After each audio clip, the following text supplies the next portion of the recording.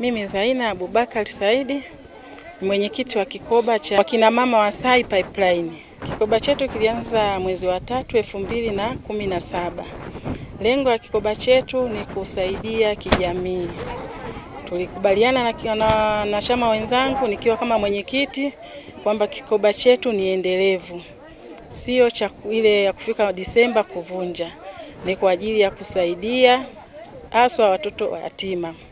Kwa hiyo kikoba chetu ni endelevu, sio cha kuvunja. Lengo letu haswa kuwafundisha watoto, tumeona kina mama tuji, yani tukae kijamii, maana jamii yetu tunaona inaharibika, hasa kuna watoto ya ndani, hasa kuna watoto yatima, hasa na watoto wamekuwa wazururaji mno mitaani, unaona. Kwa hiyo tunaona bora tukae na watoto, tukae nao kama hivi, tunakuwa watoto marafiki lengo letu hasa tusaidie kikoba chetu tuingie kijamii. Hasa tumewapa zawadi ya t-shirt kwa watoto wa kiume ambao wako ishirini. Tuliweka bajeti yetu kama watoto ishirini na tumewe, tumetoa zawadi kwa watoto wa kike ambao wapo thelathini na tano. Kila mtoto anapata doti ya kanga kwa watoto wa kike kwamba mavazi yao yani wajistiri katika mavazi yao, wasipende kuvaa nguo fupi, ili wanapotoka asubuhi wajifunge kanga na ukumbusho wa kikoba tulipoanzia. Kwa hiyo hizi zawadi kwenye kikoba chetu tumetoa kwenye thamani kama laki nne laki nne na themanini na mbili. Kwa jina langu naitwa Mrs. Furahia James Miho na niko kwenye kikoba cha Sai Pipeline na tuna lengo la kuelimisha vijana wetu hasa watoto wetu wanaokaa katika mazi, eh, majumba, majumbani pamoja na vijana wanaofanya kazi majumbani ili tuweze kuwaelimisha juu ya athari za eh, eh, kuwa na tabia nzuri, alafu pia kuwaepusha watoto wa kike ili waondokane na kupata mimba za utotoni. Kwa hiyo tumelenga hivyo, lakini pia tumelenga pia kuwa, kuwasaidia japo kidogo, hatuwezi kuwatimizia mahitaji yao yote, lakini tuna pia tunawasaidia mahitaji ki, kiasi kidogo, na pia lengo pia la pili ni kuinuana kiuchumi kama akina mama wa Pipeline. Okay, naitwa Mariam Jason Kabuje, balozi wa Pipeline. Kwanza niwapongeze uongozi wa vikoba Pipeline kwa uamuzi walioamua mzuri. Ya kwanza wamenifanyia surprise, sikutegemea.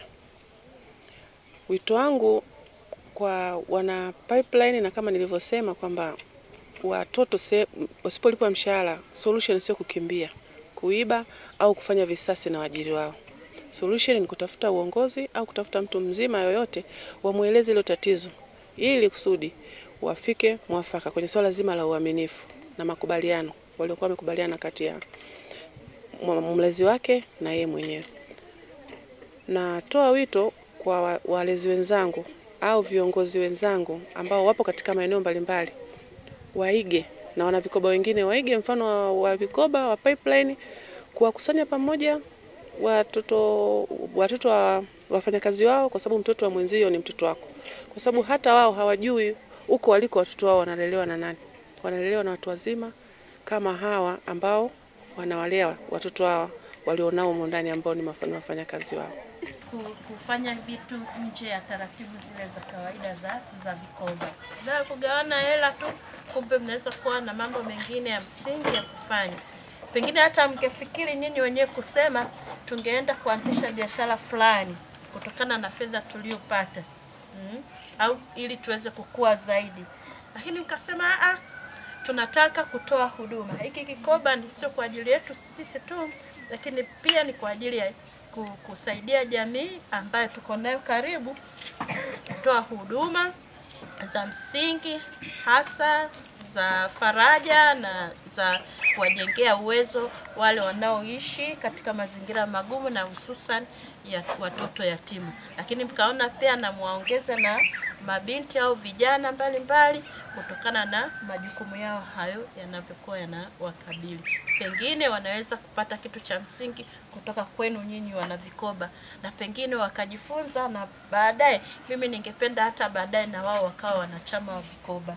Sasa sijui wataanzisha cha kwao, itategemeana na nyinyi ambapo malengo mtakayojiwekea, ama wataingia umo umo, sijui lakini pengine na wao kama ni wafanyakazi, hasa wale ambao wanafanya kazi katika nyumba, majumba ambayo yanawazunguka, basi wangeweza hata na wao wakaanzisha namna yao forum. Forum tunasema namna ambayo wao wanaweza kukutana vikao, wakajadili mambo walau mara moja kwa kwa, kwa, kwa mwezi, sio lazima kila wiki kama inavyokuwa taratibu nyingine.